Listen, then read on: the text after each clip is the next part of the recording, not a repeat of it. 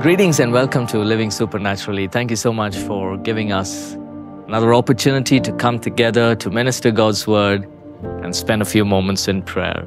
This week we've been looking at the various miracles that Jesus did during his earthly ministry.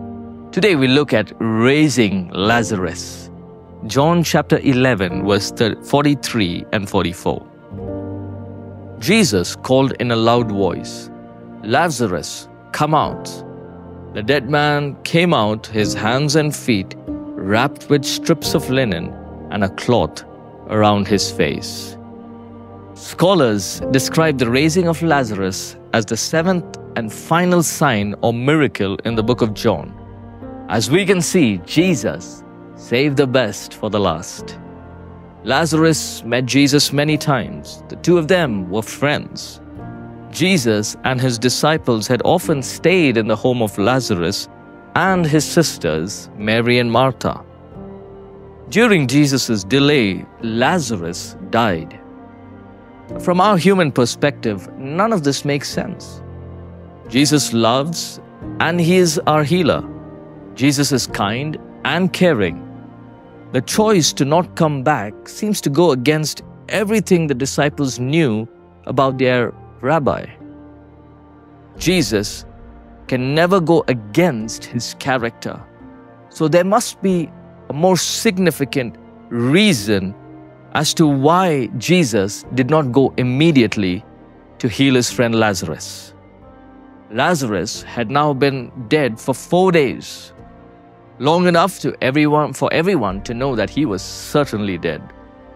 But Jesus told them to open the tomb away and when he commanded Lazarus to come out, the dead man came back to life and walked out of the tomb. Lazarus came out of the tomb not as a zombie, but, but as a living, breathing human being. His sickness, death, burial, and restoration of life was used by God to bring faith into the lives of his disciples and those around. Lazarus' death and resurrection were like a dress rehearsal for Jesus' own death and resurrection. This is an astonishing miracle, but it shows us that Jesus was more powerful than death itself. It shows us that Jesus' power and authority was beyond our natural understanding. This story acts like a kind of a preview for the even more important story of Jesus' resurrection. Jesus points forward to that event when he says to Martha, I am the resurrection and I am the life. The one who believes in me will live even though they die, and whoever lives by believing in, in me will never die. In our skeptical postmodern age, this may seem like a story that's embellished by John to help sell people to the idea of following Jesus. But this miraculous story is real. Just like other signs in the book of John, it is meant to point to a deeper truth about Jesus and his ministry.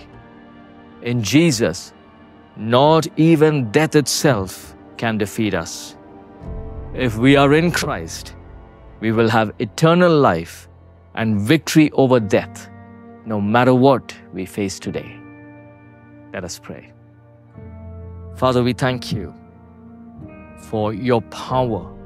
We thank you, Lord, that when you said, Lazarus, come forth, Lord, you showed the enemy that you hold the keys of death and hell, O God. And we thank you that we stand victorious in your presence. Lord, we just pray that, Lord, as your children, we will walk in victory, that your anointing will break chains. Lord, we thank you that we can trust in you, Lord. In Jesus' name we pray. Amen. Thank you for tuning in to Living Supernaturally. For more resources to strengthen your spiritual walk, please visit apcwo.org.